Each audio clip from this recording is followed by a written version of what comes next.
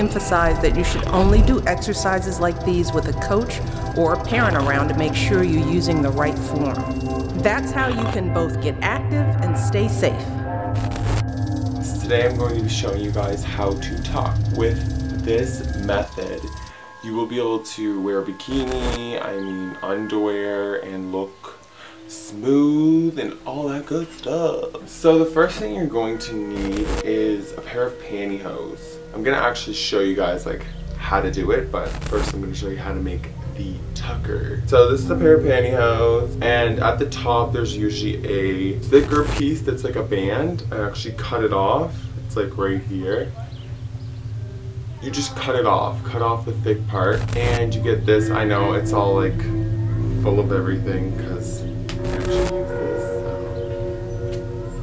then you're going to take a sock and you're going to cut the top piece of the sock off like so.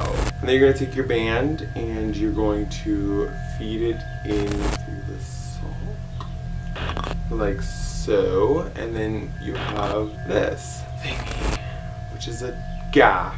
This is called a gaff.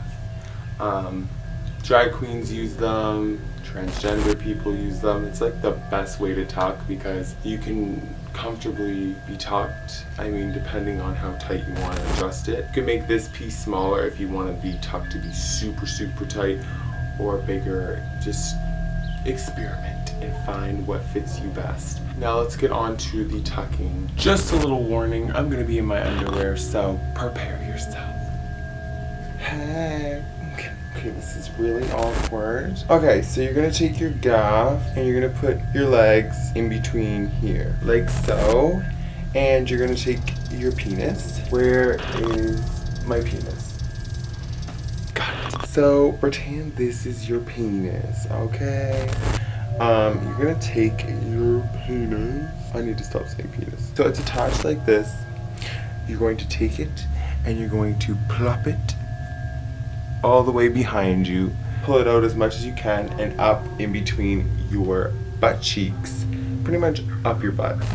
At this point, you should have a testicle here and a testicle here, kind of like bulging out. Then you need to pop them up into their natural glands. And then you're going to fold your like scrotum. Is that what it's called? Ball sack? I don't know. You're going to fold it, fold it, so it's like all kind of smooth. And then you're going to place your gaff here and you're going to pull up. This goes up like a thong.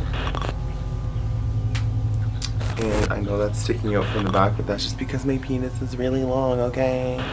And then you should have your master tuck. So at this point, at the back, because I'm not going to show you guys, but um, at the back, it like goes up and around your butt like, like the front does.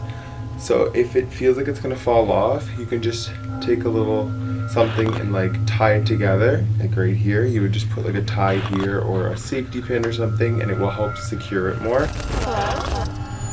Hello? Are you there?